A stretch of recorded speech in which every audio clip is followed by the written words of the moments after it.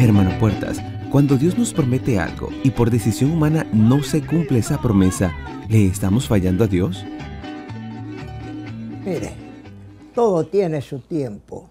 Puede ser que usted le está pidiendo al Señor una esposa, un marido, y no se lo ha dado todavía.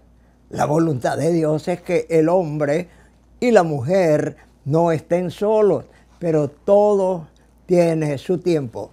En el Salmo 40, del 1 al 5, dice, pacientemente esperé a Jehová y oyó mi clamor y se inclinó a mí y me hizo sacar del pozo de la desesperación. Puso mi pie sobre roca y puso en mi boca cántico nuevo.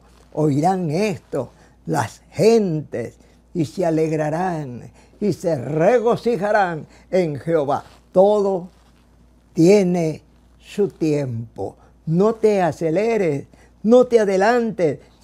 Si no ha llegado la respuesta, espérala, porque sin duda vendrá y no tardará.